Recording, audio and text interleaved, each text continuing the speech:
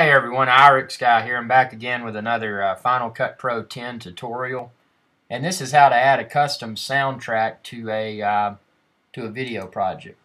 Now as you can see here, this is a video of me uh, water skiing with a GoPro, GoPro camera on my head. And it's got audio. The first thing I would do is I would highlight the clip and then I would go to, from your toolbar, go to Clip, and detach audio. What that's going to do is detach the audio from the video that was actually recorded with the camera. So that's the sound of the boat and the water and all of that going while I'm water skiing. The next thing to do is pick your uh, pick your background soundtrack. Now, uh, personally, I'm a Mac, of course, a Mac user because I'm running uh, Final Cut Pro 10, but I'll pick uh, tracks that were created within GarageBand and drag them over. So this is one I created in GarageBand. And you can just drag it down below. Uh, this clip is really long. I made it for uh, longer videos, but that's no problem. You can just drag it and make it fit your uh, your clip. So uh, something you also might want to do towards the end is to make the uh, to make the sound fade out. So to do that, just kind of mouse over the middle right side of your uh, soundtrack and just drag it to the left. And the further you drag it to the left, the more uh, the more quickly it starts to fade. As you can see there, the audio is going to fade out as this uh, as this video ends.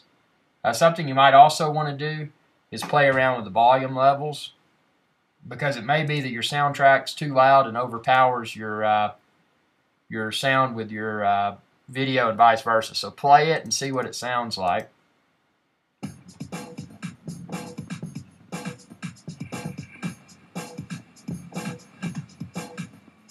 And I can tell there the sound of the soundtrack is overpowering the uh, the actual water and boat noise. So to correct that, what I can do, I can do two things. First of all, I'm highlighting the original track that came with the video.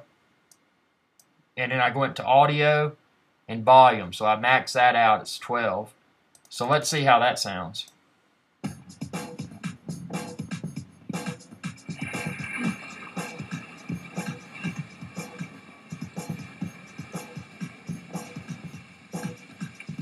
Now you're about to see it, you're about to hear it fade out.